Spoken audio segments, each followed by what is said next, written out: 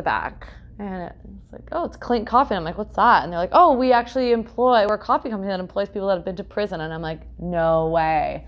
So, like, of all places, of all events for me to be at in Toronto, this, this group of people is there. And one of the women that's working for Clean Coffee is someone who, has, who had gone to prison the exact same thing as me.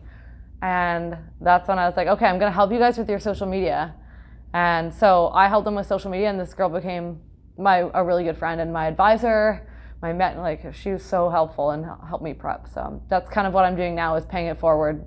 Before I uh, went to prison, I thought it was going to be hectic and a lot of uncertainty. I was one of those people that believed every myth in the book. You know that you there's a lot of fights and you do a lot of drugs and all that stuff. I was like, oh my god, am I gonna have a girlfriend in there? I don't know.